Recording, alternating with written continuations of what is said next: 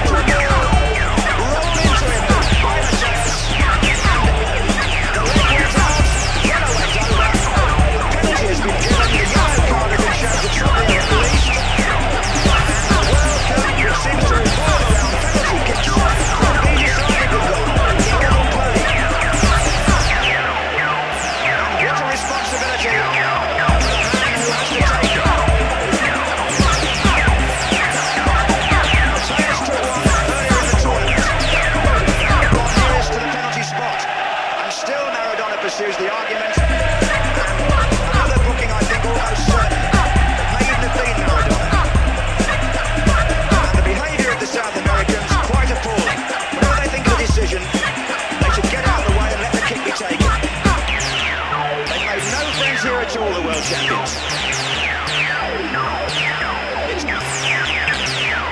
Quite necessary this will be prolonged.